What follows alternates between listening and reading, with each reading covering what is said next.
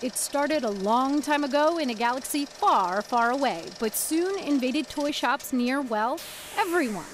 When the first Star Wars films hit the silver screen way back in 1977, toy makers weren't prepared. But when the market demands, suppliers soon follow. Just one year later, Kenner Products made $100 million from Star Wars merchandise. Over the span of the entire film series, around $25 billion worth of licensed goods have been sold. And that's on top of the billions in tickets and billions more in home entertainment products. And the force is strong with this one.